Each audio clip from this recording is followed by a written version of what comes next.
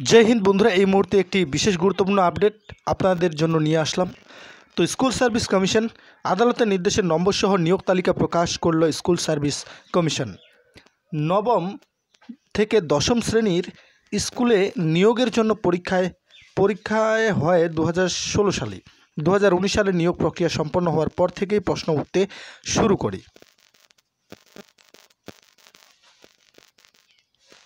আদালতের নির্দেশ মেনে নম্বর সহ নিয়োগের পূর্ণাঙ্গ তালিকা প্রকাশ করল স্কুল সার্ভিস কমিশন। বৃহস্পতিবার সন্ধ্যা পশ্চিমবঙ্গ কেন্দ্রীয় স্কুল সার্ভিস কমিশনের ওয়েবসাইটে এই তালিকা প্রকাশ করা হলো। দু হাজার ষোলো সালের নবম ও দশম শ্রেণির নিয়োগ সংক্রান্ত বিষয় নিয়ে কলকাতা হাইকোর্টে মামলা হয়।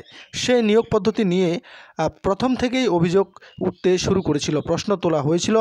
চাকরি প্রার্থীদের যে তালিকা প্রকাশ করা হয়েছিল তাতে তাদের প্রাপ্ত নম্বরের উল্লেখ ছিল না। আবার অনেক প্রাপ্ত নম্বর নিয়েও প্রশ্ন ছিল।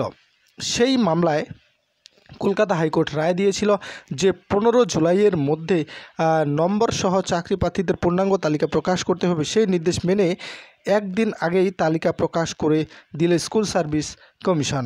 বৃহস্প নবম ও দশম শ্রেণির স্কুলে নিয়োগের জন্য পরীক্ষা হয় দু হাজার ষোলো সালেই। নিয়োগ প্রক্রিয়া সম্পন্ন হয় দু হাজার উনিশ সালে কিন্তু নিয়োগের পরেই অভিযোগ উঠে চাকরি প্রার্থীদের তালিকায় নম্বর প্রকাশ না করায় প্রক্রিয়া স্বচ্ছতা নিয়ে প্রশ্ন উঠেছে। সঙ্গে ওয়েটিং লিস্টে থাকা অনেক চাকরি প্রার্থীদের মেধা তালিকায় নম্বর টপকে চাকরি পাওয়ার অভিযোগ উঠেছে। তাতেই বিষয়টি পৌঁছায় আদালতে। দীর্ঘ শুনানির পর নম্বর সহ চাকরি প্রার্থীদের তালিকা প্রকাশের নির্দেশ দেয় কলকাতা হাইকোর্ট। এ প্রসঙ্গে বঙ্গীয় শিক্ষক ও শিক্ষাকর্মী সমিতির সাধারণ সম্পাদক স্বপন মণ্ডল বলেন, স্কুল সার্ভিস কমিশনের ভূমিকা নিয়ে আমাদের রাজ্যের শিক্ষা মহল আস্থা হারিয়েছে।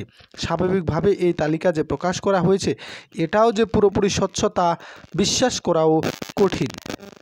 তো এই ছিল একটা বিশেষ গুরুত্বপূর্ণ আপডেট। আশা করছি আপডেটটি আপনাদের ভালো লেগেছে। আপডেটটি ভালো লেগে থাকলে অবশ্যই চ্যানেলটিকে সাবস্ক্রাইব করবেন।